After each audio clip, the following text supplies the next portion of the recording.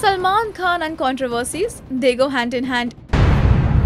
ये कहना गलत नहीं होगा। And well now again Salman Khan is in trouble पर इस बार जो सलमान को मुश्किल में डाल सकते हैं, वो है the family of a spot boy who died on the sets of Sultan at Yashraj studios it's claimed that they have not been given any help as promised by the large hearted star इस बात को चार महीने हो चुके हैं। लेकिन उदय सिंह धरियाल की फैमिली को किसी भी तरह की मदद नहीं मिली है from the actor they appealed to the Amboli police branch to investigate and find out whether he died due to the negligence of Yashraj staff or not. Well, Uday Singh Daryal was working at Yashraj Productions since the past 30 years as a spot boy on contract basis. As per reports, it all happened on the 10th of January 2016. Uday Singh was working on the Salman Khan starrer Sultan when suddenly he fell down unconscious. His colleagues took him to the office and told him to take rest. After some time, Uday returned on the set and started working. However, after some time he collapsed again post which Uday was then taken to the private hospital in Mumbai,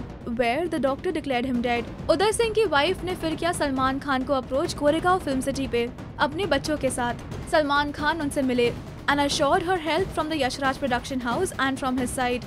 However, even after four months, Chandrakala is still awaiting Salman's help. इस मामले पर police investigate कर रही है Amboli police station के senior police inspector का कहना है कि we have received an application from the family of the spot boy today only however we have begun investigation police investigation का क्या नतीजा निकलता है, ये देखना दिलचस्प होगा। But Salman Khan not giving helping hand this is surely shocking to believe